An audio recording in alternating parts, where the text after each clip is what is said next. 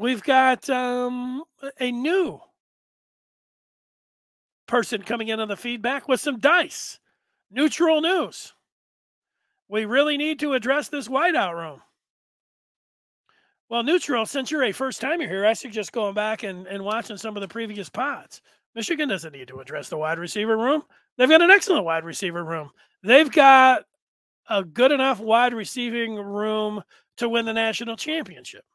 Now, if you're comparing it to the Ohio State uh, wide receiver room, you know, half of the teams in the NFL will take the Ohio State wide receiver room over uh, what they have. Uh, I, I, think you have fallen into, and most of the people have, and even half of the analysts, even your whoever uh, your your favorite Michigan commentator is. Uh, there's nothing because you have to look at something. There's nothing on offense that you could look at and say, "Well, boy, Michigan," except wide receiver. And yet, I think Roman Wilson's a lot better than you think he is. I think Cornelius Johnson can be a lot better than you think he is. I think that Colston Loveland is damn near a wide receiver. And with the catches that Bell and Schoonmaker, and I'll put all in there because it's a tight end position, I think Loveland uh, could, you know, triple the production that he had last year. I think that's all very reasonable, actually, when you go and break down the numbers. Now, I don't know, Peyton O'Leary, uh, the way that he looked, and, you know, uh, uh, Tyler Morris or Darius Clemons or one of the three freshman wide receivers. I think, I don't want to say you need to go check yourself, but this pops up about once every week or so. Some of you guys that are out there listen to some of these other Michigan pods, and hell, they're getting t- thousands of views. And these guys, guys, guys sitting up there talking about the Michigan wide receiver room really needs to be addressed, folks. No, it doesn't. Bad take. No, it doesn't, neutral news. You're wrong. AJ is not really worried about the wide receivers. We don't throw to them anyways. We got some dog tight ends. Well, Antoine, you must have missed last week. Let's see. Did I save it maybe just for you? I did.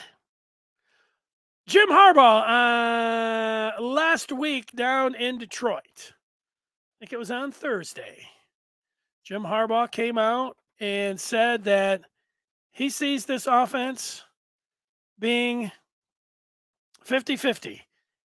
And before you start typing away that this is going to be coach speak, he did say he bets when it's all said and done, it'll be pretty darn close to 50 50 amount of times that we throw it to the amount of times we run it.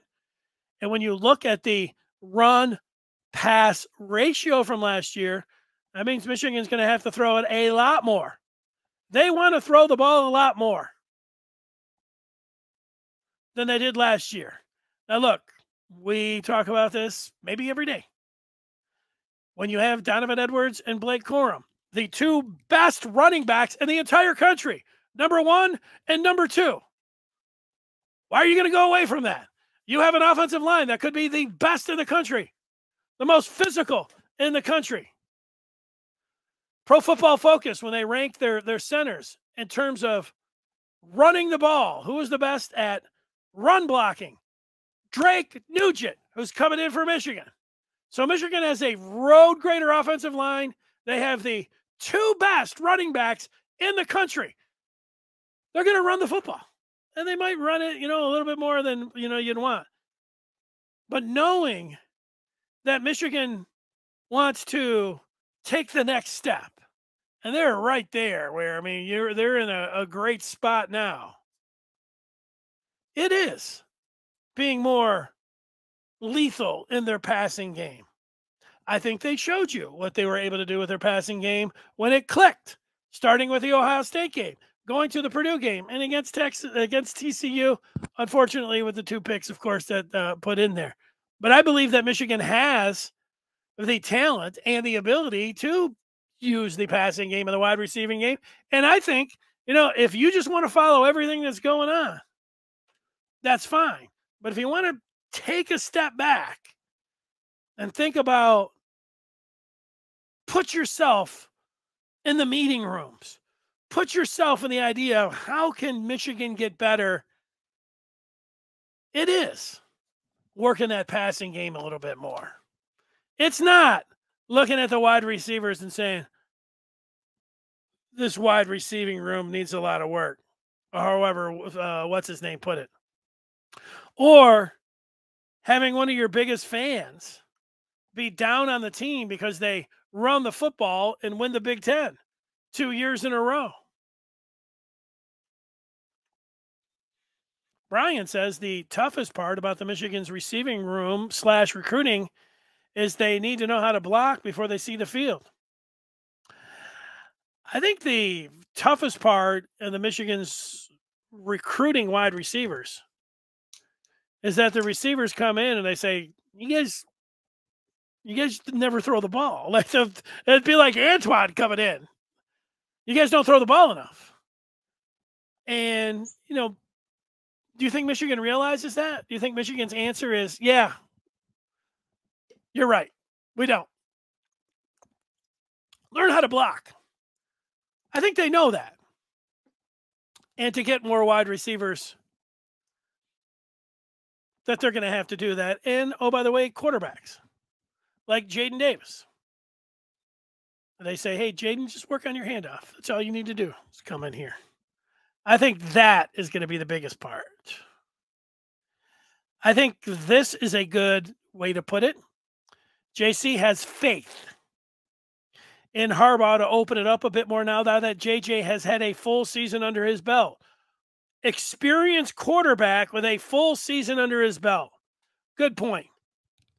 You know, I would be more emphatic about Michigan opening it up with JJ because I, I think that that's what I see. I'm, I'm with you. I do know that Harbaugh,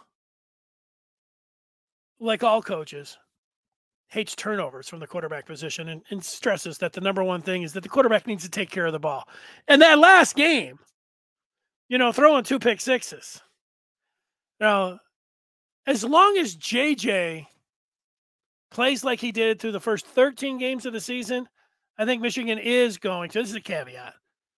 I, I, I see the the passing game and what Harbaugh said, being close to 50 50, they are going to throw it more and try to connect downfield more. The caveat is if they're if they're turning it over. Then I think Harbaugh could go into a shell and tell Moore just to run it every time. Thanks, Gary. Gary indicates good show. Hit that like button on on YouTube, Gary. Antoine would like to see Michigan run some route concepts for the backside of the backfield, like the old school Bill Walsh West Coast offense. You know, last week, Antoine, it was interesting. I was listening to Jim Harbaugh talk uh, in his second year as a coach when he was at San Diego. He was doing a coaching clinic, and that that clinic's online. And he was talking about the coaches. You know, he started Bill Callahan when he was with the Raiders and working in the film room, and then Al Davis, you know, he worked and, and, was in the draft room, was able to watch the Raiders and and Al Davis, and then he was going through Infante, you know, his coach Ditka, his coach when he was with the Bears. He talked about running the football with Ditka, and then he mentioned Bill Walsh. And he mentioned, uh, you know, working with Bill Walsh, and and I do think you have two running backs who both can catch the ball, and I think that getting them the ball more out of the backfield or flaring them out, putting them actually, you know, as wide receivers and throwing them the ball, it seems like something that they should do. The reason that they might not is that, you know, it, JJ might have a difficult time throwing some of those, uh, you know, flare passes or screen passes, but maybe he's gotten better at that there's only so many plays in the playbook, you know, would be another one. But you know, they're they're both they both look like talking about the running backs that they have pretty good hands. I mean, we know what Edwards has, and you know, I've Corum has caught the ball. So I, I think that it was surprising that they didn't do it more last year. That was what I was getting at. So yeah, I would think that they would do that more this year. Right? Okay, We got one more. We got three more. Everybody can't play for Michigan and isn't built to play for Michigan. That's why the players that commit to Michigan usually stick around and don't transfer because of the style that they choose. Yeah, you'd like to think that. I, I think that most uh, top programs you like feel that way, but yeah, I mean, like I'm not here to. I'm not here to uh, throw a wet blanket on what you're saying there. JC says the way JJ responded against those mistakes said a lot about him and gave Jim more confidence in, in him, in my opinion, in that game, the way he responded. Uh, you might be right about that. And then uh, finally, with AJ says the linebackers can't keep up with Donovan or Blake, especially Donovan. That would be a nightmare for any team to defend. It would be. You know, the one that I think uh, AJ is against uh, Michigan State. And it was in the first half, and, and Edwards ran. Usually, you don't see a route where the receiver runs straight down the middle of the field. But that's what Donovan Edwards did. He ran probably 20 yards, maybe 15 yards, straight down the middle of the field. And he had a linebacker on him. He put a little move and then, you know, cut in. JJ hit him with a pass. It probably went up for 30, 40 yards. It was so easy. Donovan Edwards on a linebacker. Yeah. I like it. And I know they, you know, against Rutgers, you know, flared him out and had him going down the sideline. Then he, you know, caught one in the end zone. But uh, down the middle of the field. You know, it is, it's there. We do think about a lot of what happened last year. They want just new wrinkles, different things, and slants, jump balls, screens. Those were three things that did not do a lot. I mean, Michigan was undefeated last year. So when you're undefeated, I think you get a little bit of a break about, oh, where the hell was it? Well, I know there's it worked. What they did worked. And, you know, getting down and maybe throwing some more slants. If I get a chance to talk to Ron Bellamy or Jim Harbaugh or oh Kirk Campbell or Sherrone Moore, you know, talking about slants and screens and jump balls and uh, you know how often they're going to go to that and throw the ball. Uh, I think you know, it's something that I would ask. I'm right with you on there.